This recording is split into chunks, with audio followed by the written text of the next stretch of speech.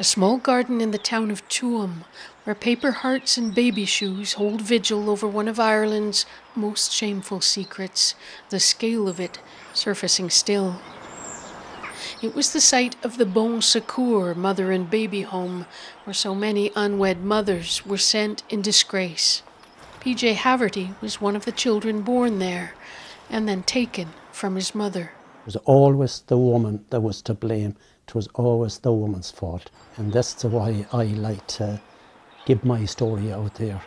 And I want this to go into the history books of Ireland. Still, Haverty counts himself as lucky. He eventually met his mother. He also survived. Nearly 800 children from the church run home didn't. The remains of many, from babies to three year olds, thought to be buried under the ground in a sewage tank. The report released today says 9,000 babies died in 18 religious institutions over several decades. The regime described in the report wasn't imposed on us by any foreign power. We did this to ourselves as a society. We treated women exceptionally badly.